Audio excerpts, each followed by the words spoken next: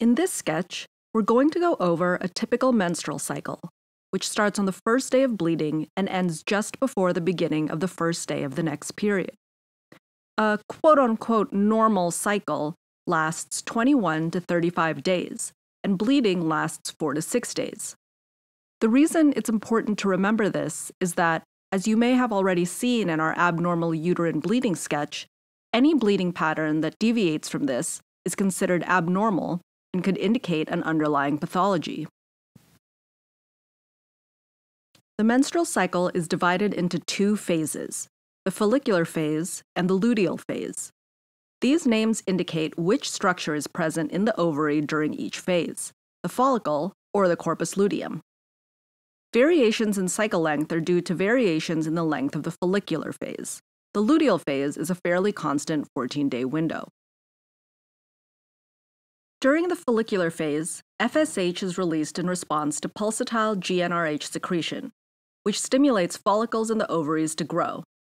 This makes sense as FSH stands for follicle stimulating hormone. One of these follicles becomes the dominant follicle, and this is the follicle that will go on to be ovulated. As the follicles develop, they release estradiol. Estradiol causes a positive feedback effect on the follicles themselves, and also causes the uterine lining to proliferate and get thicker. This growth of the endometrial lining is in anticipation of implantation of a fertilized ovum. All this time, another gonadotropin, LH, has slowly been rising as well. At around day 11 to 13 of the cycle, in part due to rising estradiol levels, an LH surge occurs, which triggers the dominant follicle's release of its egg, aka the main event ovulation. Once ovulation occurs, the remnants of the follicle transform into the corpus luteum, and we enter the luteal phase of the cycle. The corpus luteum secretes progesterone. The switch over from estrogen dominance to progesterone causes a drastic change in the endometrial lining, as it transforms proliferative endometrium into secretory endometrium. Secretory endometrium in comparison to proliferative endometrium, has more glands, which are tightly coiled.